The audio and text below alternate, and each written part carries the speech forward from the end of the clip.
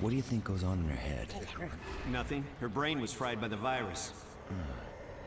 She seems... Yeah. It seems like she's waiting for something.